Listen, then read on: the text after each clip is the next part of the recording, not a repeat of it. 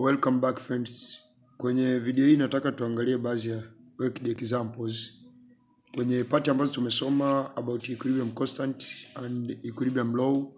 Tunaangalia some of the worked examples, maswali yanakujaje kwenye kwenye mtihani.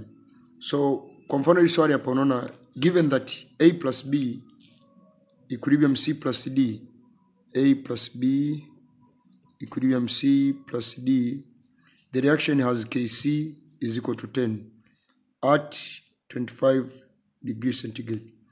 Find the equilibrium constant kc for the following reaction. At temperature ile kumbuka tulisema equilibrium constant haibadiliki kama temperature iko vile vile. Umepewa reaction yapo ya kufind ni 2a plus 2b then equilibrium 2c plus 2d uh, jibu la hili swali ni ni mia moja lakini sasa hapo maanake tunataka tuone njia. Kwa hiyo kama unakumbuka niisema kwamba hii reaction ukiangalia ukikompea hii reaction uliopewa na hii hapa reaction uliopewa kc yake na hii hapa utaona kwamba hii reaction imetokana na kumultiply hii reaction by 2 na tulisema kwamba ukimultiply reaction kwenye kc unaenda unaweka exponent sawa sawa na ile namba walio multiply kwa hiyo tukisema kwamba solution kc ya ile given reaction kc ya reaction ya kule juu. Hii hapa reaction kc yake itakuwa ni concentration of c concentration of d divided by concentration of a concentration of b. Hii ndio kc ya reaction hapa tuliopewa. Na ukija kuangalia hii hapa reaction ya chini hii labda tuite kc1 kc2 now ya reaction ya pili itakuwa ni concentration of c square concentration of d square kwa sababu hapa tunaweka hizo stoichiometric coefficient. Concentration of a square concentration of b square. Kwa hiyo ukiweka hivyo hii ni sawasawa na ukairemove square yote ukaweka nje ukaweka kc2 ni sawasawa na concentration of c concentration of d half divided by concentration of a concentration of nini? Of b square now remember but hichi kitu kilichopo ndani concentration of c concentration of d then divided by concentration of a concentration of b. This is equal to kc1 so thus kc2 is equal to kc1 square. So the kc of the second reaction will be equal to 10 square. That is equal to 100 kwa hiyo hivyo ndivyo ambavyo swali liko natakiwa kufanyika. Hiyo example ya kwanza. Uh, example ya ya pili ni hiyo hapo. Umepewa reaction mbili. Umepewa ab equilibrium c alafu umepewa pq equilibrium rst uh, niziandike hizo hapo reaction. A plus b equilibrium then c alafu tuna p ku plus q equilibrium then r plus s plus t. Kc ya hii reaction ni ngapi? Ni 10 dm cube per mole. Hii hapa ni ngapi kc mi niite kc1 hii hapa kc2 ni ngapi? Ni mia moja mole per dm cube. So anyway uh, ni kwamba taka tuangalie tu wamekwambia find the equilibrium constant for the reaction.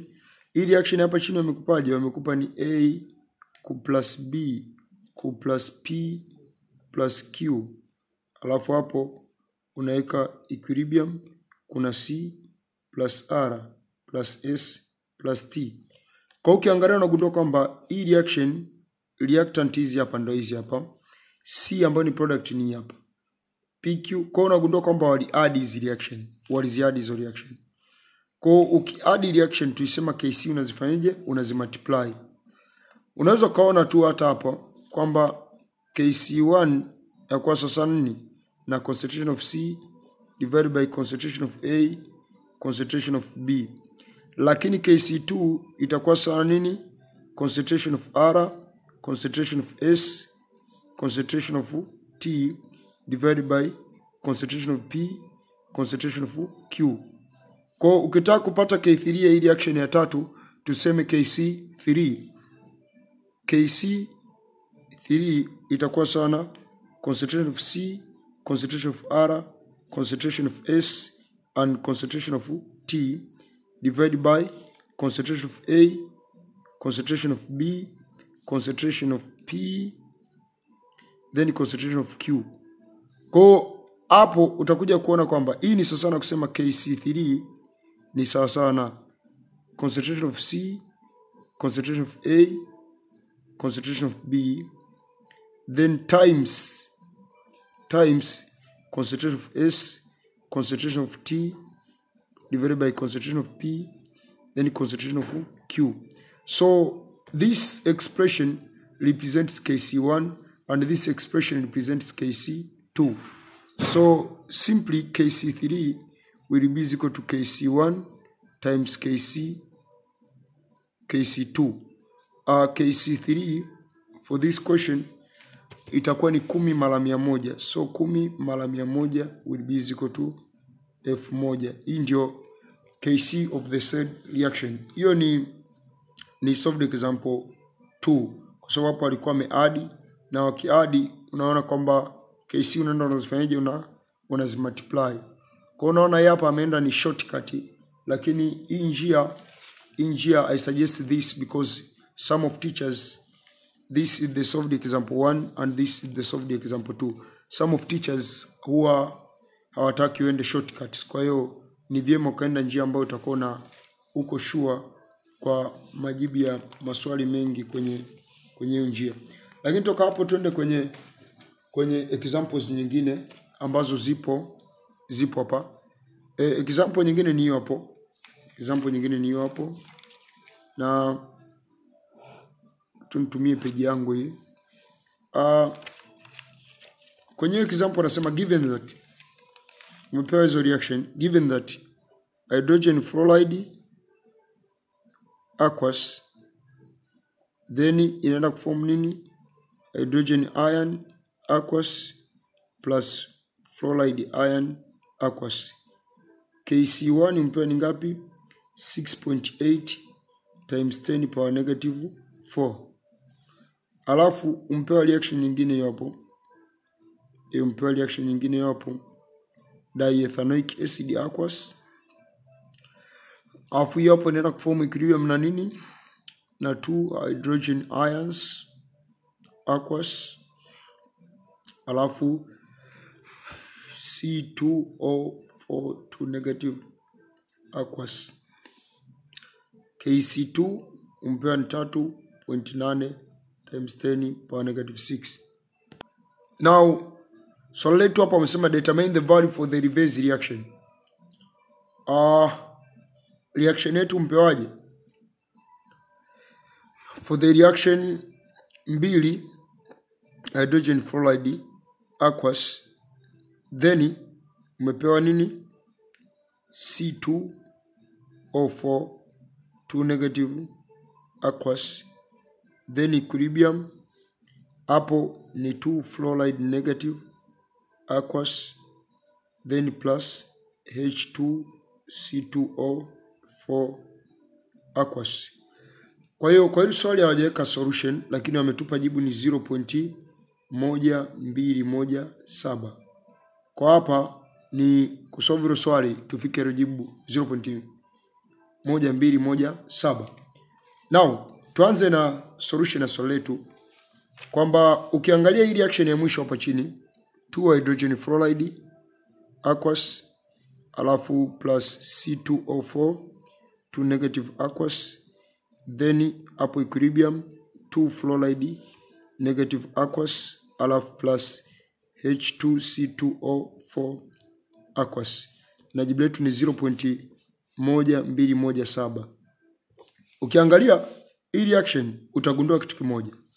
Kwenye hii reaction ya kwanza ambayo ilikuwa ni hydrogen fluoride halafu aqueous halafu hapo equilibrium hydrogen yule pale aqueous then plus fluoride ile pale aqueous.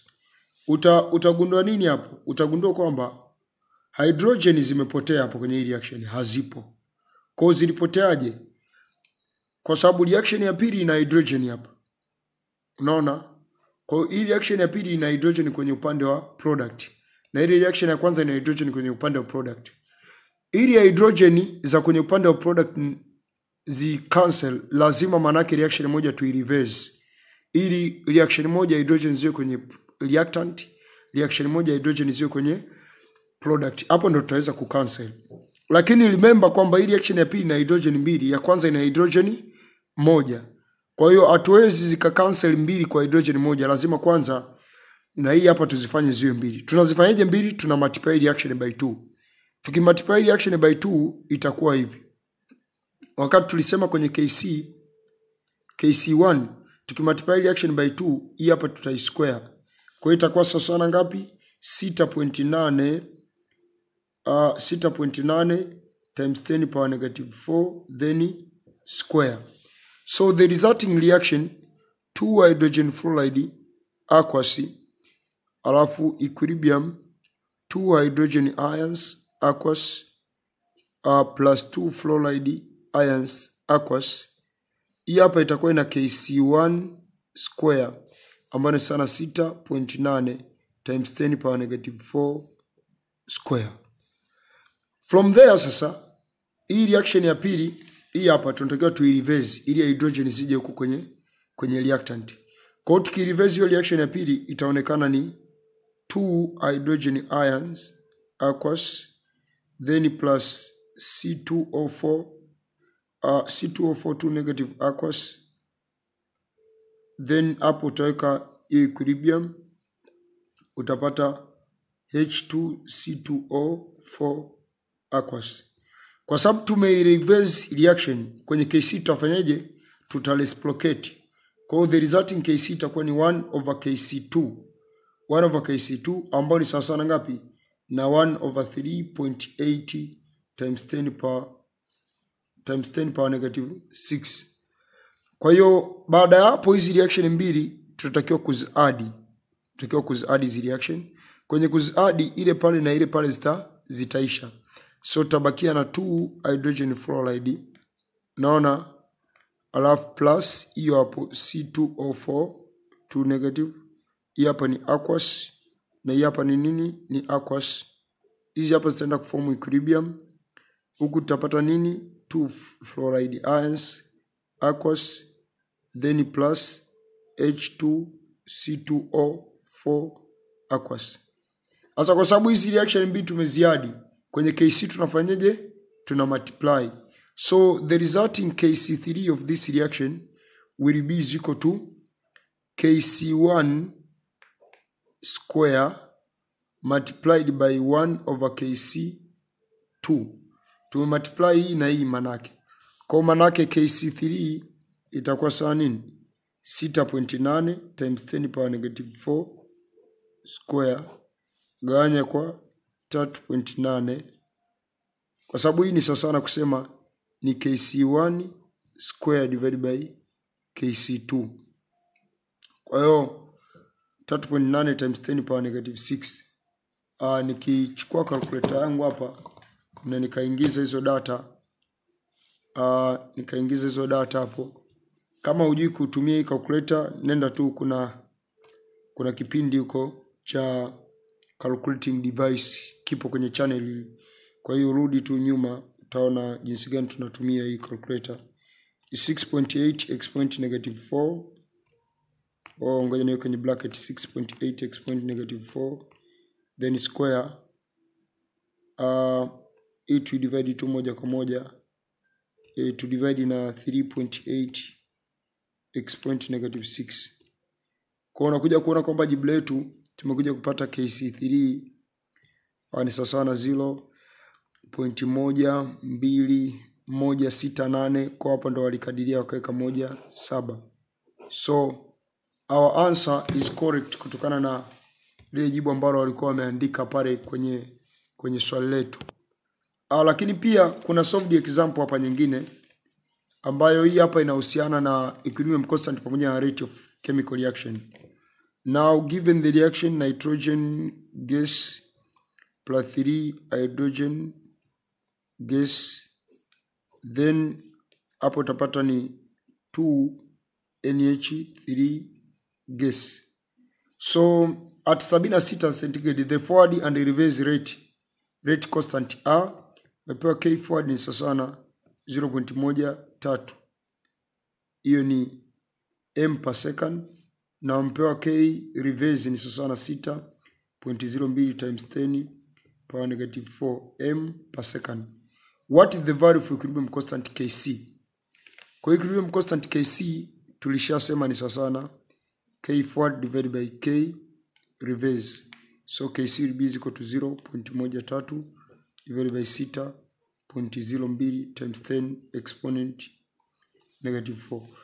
Uh, ikiingiza kwa calculator hii uh, itakuwa 0.13 divided by 6.06 oh 6.02 exponent negative exponent negative 4 kwa naona kwamba jibu lako KC itakuwa sana na mia mbili kumi na tano pointi tisa nne saba. E, ni vyema tu unapenda kuandika jibu kwenye 3 decimal places kama hivyo. Kwa hiyo hilo ndio jibu la swali kwa hapa. Kwa hapa naweza tu nika hapa jibu answer ni mia mbili kumi na tano pointi tisa nne saba na hizi notes zote zitakuwepo kule Telegram group. Ah, huu ndio mwisho wa solved examples au worked examples part 1 na kwa kadi ambavyo tunaendelea na topic tutakuwa tunaweka worked example pia humo ndani. Kwa hiyo tutakuwa tunaendelea na worked examples na hizo notes unaweza ukazipata kule Telegram group. Subscribe to channel na share video kwa wanafunzi wenzako ili tuweze kuendelea. Na kwenye next video tutaendelea na reaction quotient. Baada ya hapo nadhani ndo tutaanza calculation the equilibrium constant. Kwa hiyo stay tuned, subscribe the channel and share the video to your fellow students. Thank you.